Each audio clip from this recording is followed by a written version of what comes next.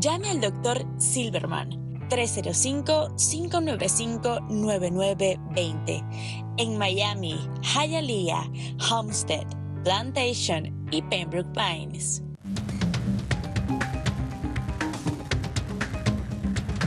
Les estamos presentando Dígalo aquí.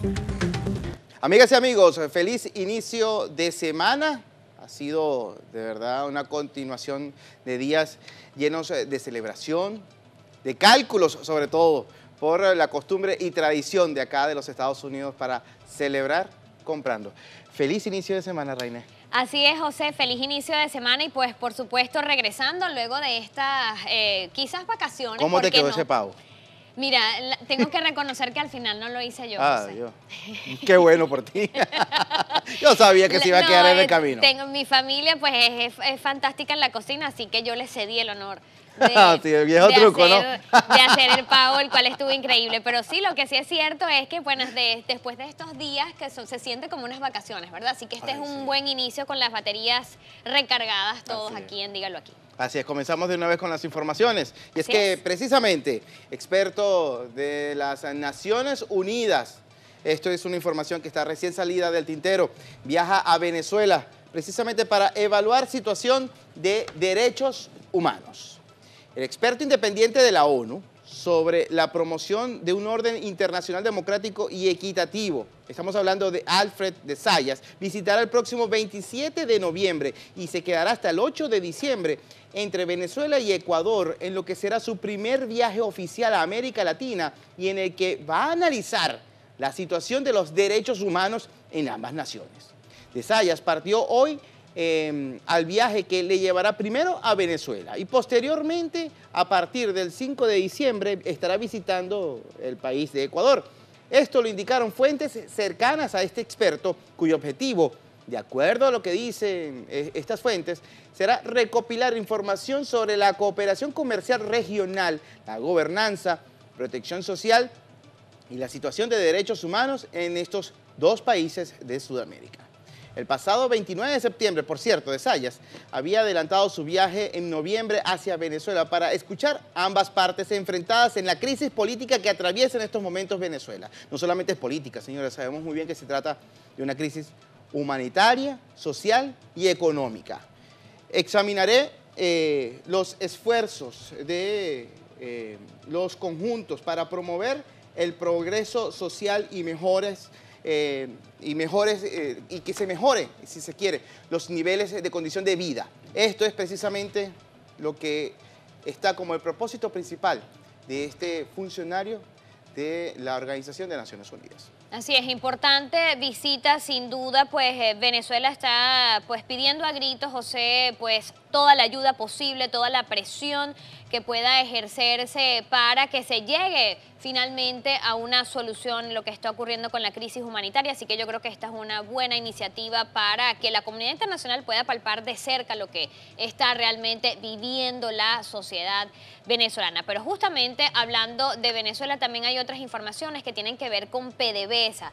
Sabemos que la estatal petrolera está en medio de una grave crisis y justamente se anunció hoy que buscará socios ante la paralización de las refinerías venezolanas. Así que Iván Freites, jefe del Sindicato de Trabajadores, informó a través de una entrevista telefónica que los trabajadores en Cardón y Amuay consideran que estas refinerías podrían venderse o arrendarse a compañías extranjeras. Imagínense ustedes el clima, el ambiente que debe haber internamente en estas petroleras estatales en donde pues ellos mismos consideran que siendo pues el patrimonio más valorado, más preciado de la economía venezolana puedan transferirse a empresas extranjeras. Aparentemente, PDVSA estaría en conversaciones con China, la petrolera rusa Rosneft y los iraníes para negociar los contratos que podrían oscilar entre 1.5 y 7 billones de dólares por un periodo de 10 a 15 años, según pues lo que reveló este sindicalista. Por supuesto, eh, esta es una información que circula el día de hoy. Ya se sabía pues que la situación de PDVSA es bastante grave. José, se habla por supuesto también de la deuda, los bonos de la deuda y también pues lo importante que ha sido para la economía venezolana y para todos los ciudadanos de nuestro país el deterioro constante y sonante de nuestra industria petrolera, que como comentaba uno de los especialistas que nos acompañó programas atrás, José, eh, no solo eh, era un referente de, gerencia y, de, y del potencial que tenían sus trabajadores PDVSA a nivel mundial, sino que ahora ha quedado prácticamente relegada a convertirse en una importadora más de petróleo, José. Ah, es que también lo que más preocupa, de acuerdo al testimonio y las estimaciones de los expertos es que se encuentra prácticamente el patrimonio de Venezuela, la producción petrolera, prácticamente en situación de hipoteca. porque tantos deberes, tantos compromisos que ha asumido quienes llevan en estos momentos las riendas de nuestro país, eso representa sin duda un largo periodo de cumplimiento de obligaciones ante la gran cantidad de carga que hay en, esas, en esos préstamos a los que se ha incurrido eh, quienes en estos momentos están en el gobierno de Venezuela. Y preocupa, sin duda, el alcance que pueda tener los esfuerzos en un momento ya de transición para lograr la recuperación en un nivel superior, puesto que sabemos muy bien que es muy difícil lograr que se alcance un estatus como se encontraba hace ya 15 años la industria petrolera venezolana.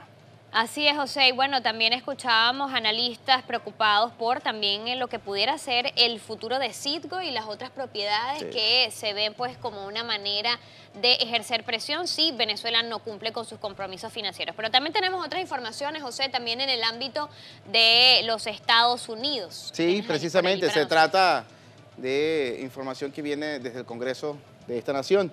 Y es que precisamente se vuelve al trabajo con DACA y el techo de la deuda, estos son los temas pendientes en el Congreso de Estados Unidos.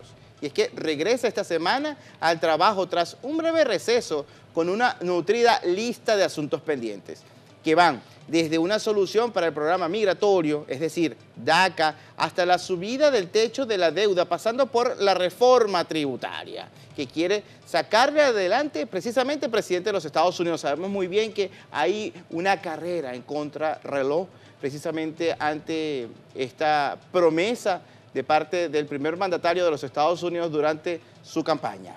Este martes, eh, presidente Trump eh, tiene previsto reunirse con el liderazgo demócrata y republicano del Congreso con el objetivo de acercar posturas para subir el techo de la deuda antes del 8 de, de diciembre, cuando expiran los fondos actuales y evitar así un fatídico cierre del gobierno como el ocurrido en 2000. Sin duda alguna importante esta información, muchísimas personas bien atentas a la actividad del Congreso en torno a estos temas, la reforma fiscal, lo que podría ocurrir con eh, DACA y los jóvenes que dependían pues de este programa, así que muchos temas importantes en la palestra para el Congreso estadounidense. Eh, veremos que se logra concretar antes de que termine este año fiscal, José.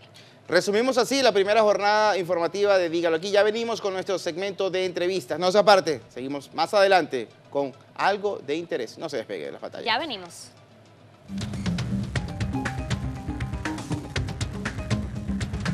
Les estamos presentando